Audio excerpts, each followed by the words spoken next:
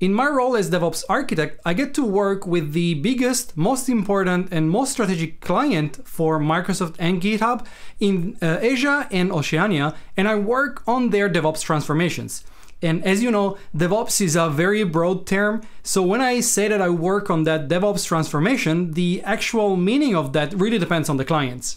Some companies, in fact, want to focus more on technical aspects like CI CD, branching strategies, testing, automations, etc., while others perhaps prefer taking a more theoretical approach and discuss about processes, methodologies, cultural changes, and other things like that. But regardless of the approach, more and more often I work with those companies on the security aspect of DevOps, what we usually refer to as DevSecOps. Now, even though DevSecOps is a buzzword that we hear constantly, I don't usually call it like that. And the reason is very simple. Giving it a different name makes it feels like it's something optional, something one can decide when and even if to adopt, when in reality it's not exactly like that. Let me explain. We all know this diagram, this is the classic DevOps representation, but if you look closer though, you will notice that there is no mention of anything security in it. This is why companies often operate in this way, having security completely detached from anything else, siloed, and pulled in after the fact, usually when the pieces of software have already been deployed. I hope we all agree that this is not a good practice, and in fact, other companies too realize that it is not how you should operate, so they bring security closer to the other teams and practices, and they call it DevSecOps. While this is certainly better than the previous model we've seen, I still have a problem with it. Because now, yes, security is closer to the other teams, they may have better visibility on what's happening during deployment, during development, during testing, but they are still operating by themselves, uh, somewhat siloed, and uh, they are fully responsible still of anything security. And this is what makes it not a very good model. To make it better, to make our software more secure and secured, we have to take this to a step forward.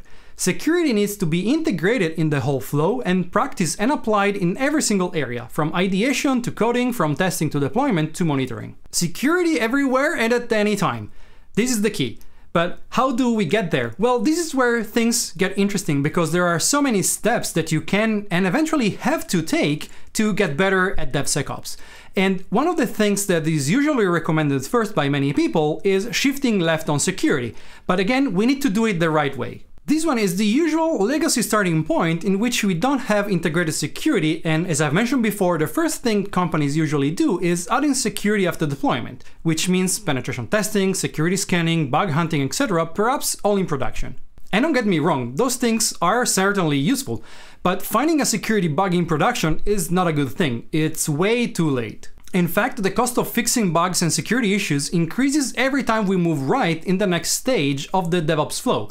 And if we are not able to catch them in time because we only apply security after deployment, a breach could be catastrophic. For this reason, we should shift left on security, starting it while in the development phase. But this is not the arrival point, this is just the beginning. As I've mentioned before, we should apply this concept everywhere. This means having security embedded in each and every phase of our iterations. Each phase will require different approaches and tools, but we need to have it there. And to do this, it is just not possible relying on a central isolated security team. We need to change the paradigm and security has to become responsibility of every person involved. Product owners and PMs have to think about the features with security in mind. Developers have to implement those features respecting the security indications, best practices, and guidelines. Testers have to test not only for functionality but also for security and so on and so forth. You got the point. With that said, let me quickly address the elephant in the room because every time I talk about those things, I always have the same question. Should we get rid of the security teams? Well, the answer, of course, is not.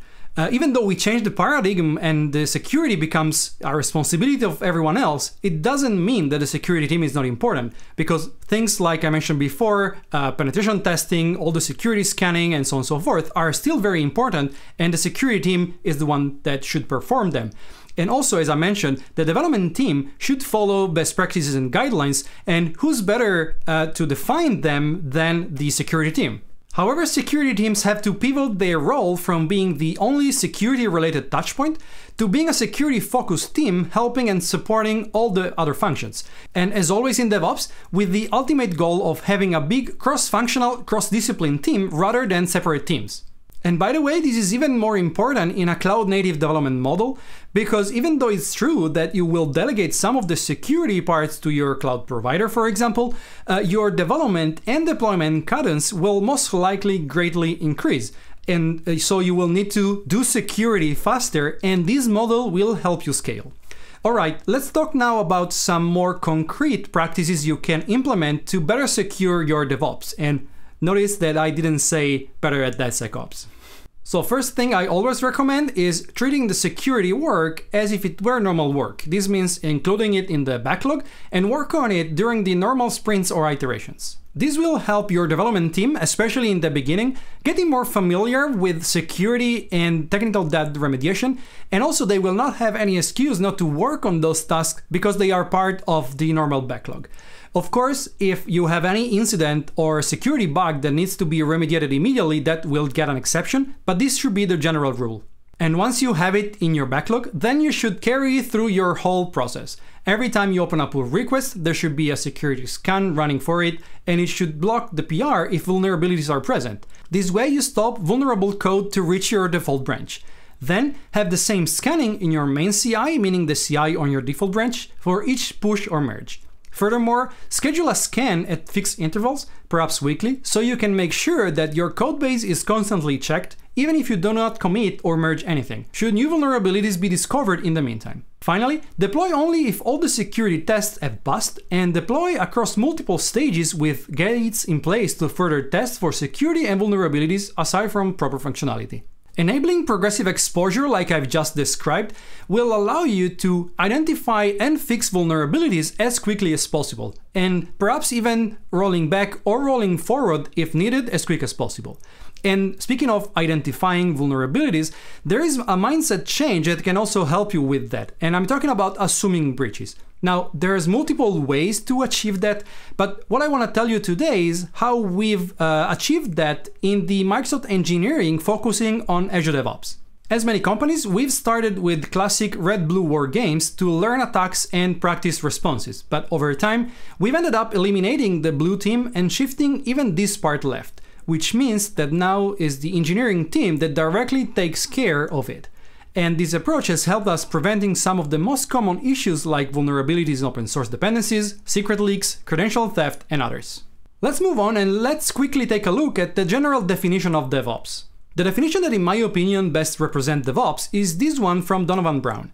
DevOps is the union of people, processes, and products to enable continuous delivery of value to your end users.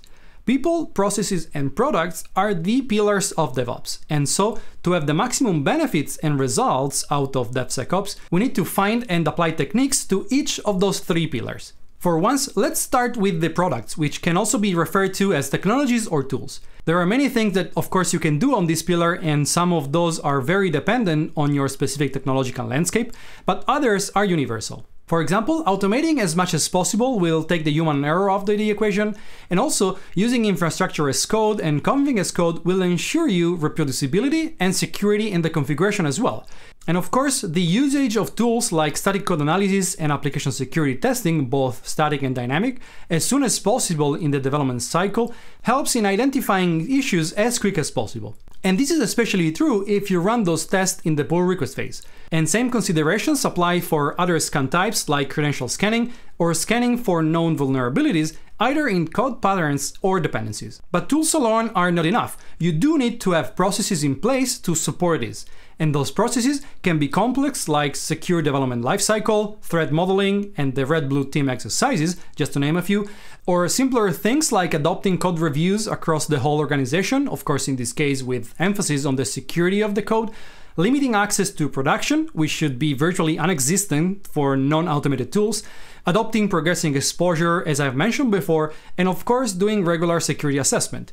But once again, this is not enough. You can have the best tools in the market and the best processes defined, but if your people won't use those tools or follow those processes, you won't be successful. And for the people, all starts with the education. To let the teams embrace a security first mindset, to always assume breach and try to prevent it, and even for more basic things like protecting credentials, whether we are talking about some external service or environment credentials. People are, as always in DevOps, the most important part of the equation. So remember to invest in your people, invest in your teams, and in your company culture. And people are also very important when it comes to the selection of the tools because you want to find tools that not only fit within your processes, but also that your people would want to actually use. You need, for example, to find tools that are developer friendly, and that means easy to use, fast, and reliable. If something requires a lot of effort or time to be used or run, then nobody will use it. And if it takes too long to execute, then your builds and CIs will slow down, impacting your cadence. Another thing you should look into is having tools that can be used both locally and in a CI system.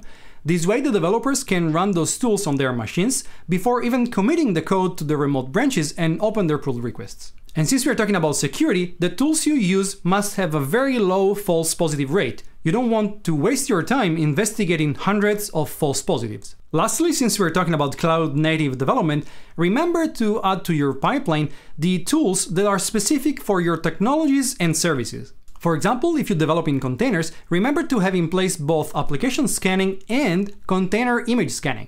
This way you can ensure that there are no vulnerabilities in your hidden dependencies, meaning the dependencies that you might inherit from the container-based image itself and that all the policies are respected. If the container registry you use has an embedded security scanning capability, that's usually a good starting point, but also in this case, you probably want to have your images scanned as soon as possible in the development chain. And still talking about containers, there's something else that I want to talk about, and it's very often overlooked. I'm talking about the Kubernetes best practices validation and enforcement. There are just a few tools out there to do this, and in this slide you can see Datree just because it's the one I use the most and it's free, but in my opinion it is an extremely important area. The whole concept is to prevent security issues in production by preventing Kubernetes misconfigurations from reaching production. And of course you can do this manually via code reviews, for example, but code reviews are time consuming and also usually error prone, so if you can automate things like Kubernetes schema validation and the enforcement of best practices and policies over your Kubernetes manifests, then you will make sure that you can just focus on your application bits. And once again, ideally you should find a tool that works the same way in every scenario, including local development, and it is fast and reliable to maximize the benefits you can get from it. Alright, let's wrap these up and let's recap what we've just seen. First off, remember that security is not just for security people or security teams, it should be everyone's responsibility. Apply security everywhere, in every step of your software production flow, and as early and as frequent as possible. This will maximize your chances to identify and solve security issues fast. Consider the three pillars of DevOps people, processes, and products and identify areas of improvement in each of them when it comes to security. They are all important, and you need to have solutions for each and every of them. And choose the tools that people would actually want to use fast, easy to use, and reliable. And finally, DevSecOps should be just DevOps. Security should be completely embedded into DevOps. So just make it so, and you'll soon see the benefits. All right, thanks for your time. I really hope you find this valuable. Feel free to contact me if you have questions. Just go to coderdave.io and you will find all my contacts there. Thanks again for your time, and I hope you enjoy the rest of CloudSec 2021. Bye.